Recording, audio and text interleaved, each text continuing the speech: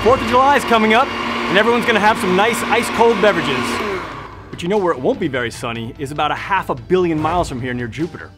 NASA's Juno spacecraft will be arriving there this 4th of July, making it humanity's most distant solar-powered spacecraft. And all of its systems, including keeping it warm, are powered by about the same amount of power this blender currently uses. How is that even possible so far away? Let's find out on this episode of Crazy Engineering.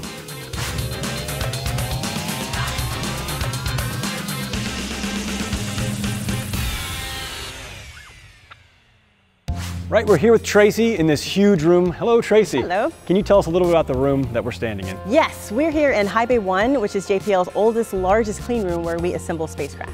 Okay, and what are we standing in front of today? We are standing in front of one of the test units for a Juno solar array.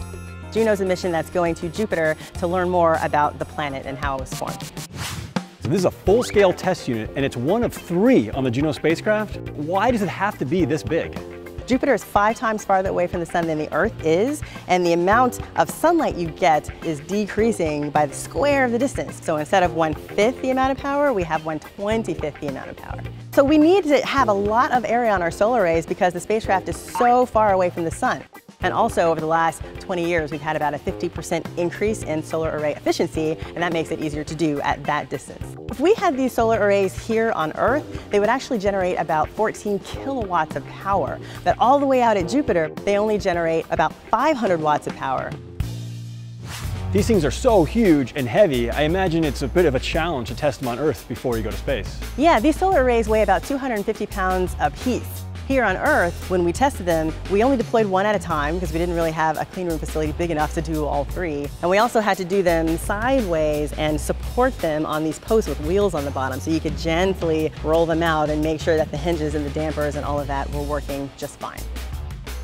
Juno is one of the largest spacecraft I've ever seen. How do you package that up onto a launch vehicle? Our spacecraft is about 65 feet across, the arrays deployed, and that certainly wasn't going to work. So when we launch the vehicle, it has to be folded up small enough to fit into the nose cone of the rocket. And you'll notice that the cells are on the inside, and so they wouldn't be getting any power from the sun. But that was a really interesting time for the team during launch, is knowing that we had to make sure the arrays were deployed to get sun, or the spacecraft would just have died. So we're deployed, we're absorbing energy. When do we hope to arrive at Jupiter?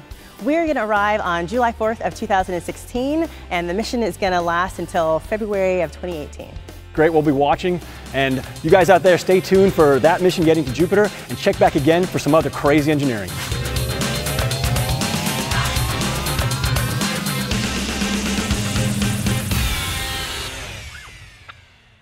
If you guys like that, you can click over here to watch more crazy engineering, or click here to subscribe to the JPL YouTube channel. If you want to learn a lot more about what JPL is up to, click this link down here.